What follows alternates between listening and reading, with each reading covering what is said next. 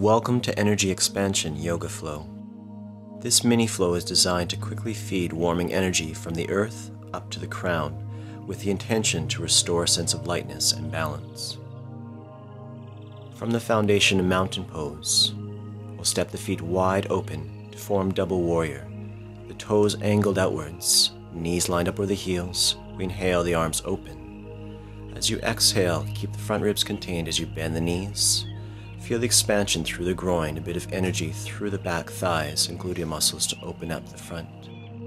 Again, keeping strong through the pelvic girdle, feeling contained through the core, we'll move into a side bend slightly resting the left elbow over the thigh as we expand and open through the right ribs up to the fingertips.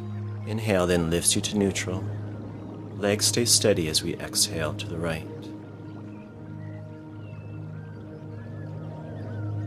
From the warmth of the legs, preparing more for a twist, we'll inhale to center, elongate the legs to release the energy. Then we'll exhale and just turn the toes in and hold on to the hips. Rebending the knees, we inhale, elongate the belly, Feeding the heart forward, we exhale and fold naturally from the hip joint.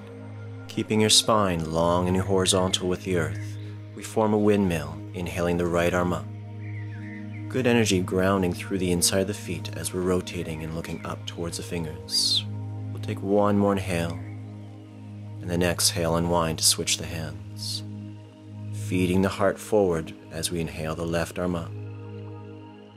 Spaciousness all the way from tailbone up through the top of the head. We breathe in. Then exhale, unwind. Folding further, fingertips reach forward. We breathe in and pull the heart forward even more. Keep the space in the vertebrae as you exhale and fold from the hips and lean all your weight back into the heels. Two lines of elongation from the sit bones to the heel, from the pubic bone through the crown of the head. We keep breathing into this elongation and easing out of this, we just bring our weight forward and then heel toe the feet towards each other until the feet are parallel hip width apart. Knees remain soft as we just shake out the spine, shake out the arms. When you're ready to rise, contract the abdominal muscles with an out breath. And then the inhale slowly carries you up, one vertebra at a time, lifting your head last. At the top, we elongate the entire body, feeling balance through the corners of the feet, balance through the pelvis, space across the heart and back. Breathe and collect this spaciousness. Namaste.